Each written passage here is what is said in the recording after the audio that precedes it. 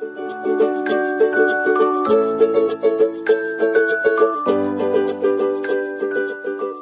it's Oliver here from Oliver James, and I'm here today on this beautiful day in Cadishead, right near the locomotive, local landmark.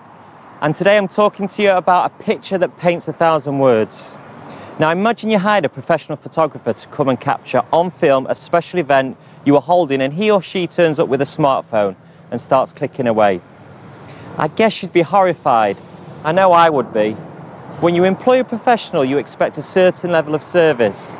In the photographer's case, you'd quite rightly demand they have the right equipment and supply with a range of photos to choose from and stick around for as long as the occasion demanded.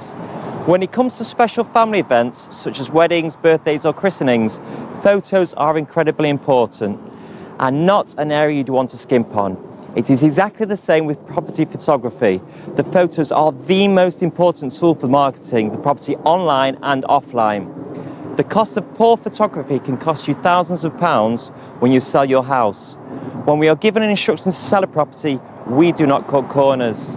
At Oliver James, I personally do all the photography and I have been on many courses to hone my skills to show your home in its very best light. We take the time to make sure every shot looks good, so you won't see coats over chairs, toys in the middle of the front room, or even a wheelbarrow in the middle of the front path. I love taking lifestyle shots and as standards, I do elevated photography and all external photos. And here are a few examples of some lifestyle shots and some elevated photography.